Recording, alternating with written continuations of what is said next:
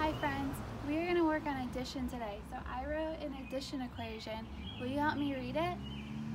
5 plus 6 equals, and now I need to figure out what it equals. So to figure this out, I'm going to look at the number 5 and I'm going to draw 5 circles.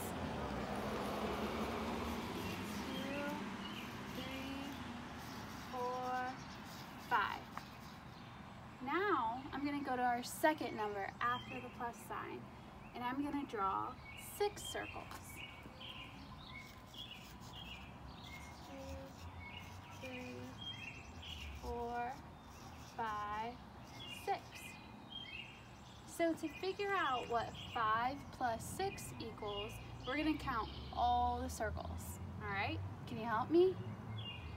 One, two, three, four, five, six, seven, eight, nine, ten, eleven. So I'm going to come after our equal sign and write the number 11. So let's read this all together. 5 plus 6 equals 11.